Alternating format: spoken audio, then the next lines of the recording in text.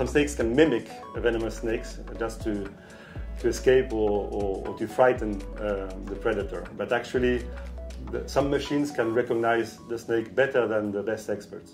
This tool has been fed with 388,000 photos already. It will help us to distinguish if the snake is venomous or non-venomous.